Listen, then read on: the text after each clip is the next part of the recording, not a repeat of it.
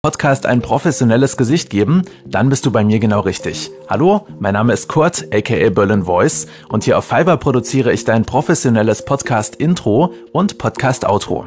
Alles, was ich dazu brauche, ist dein Skript, also dein Textentwurf. Kleiner Tipp, in der Kürze liegt die Würze, also am besten nicht länger als 20 Sekunden.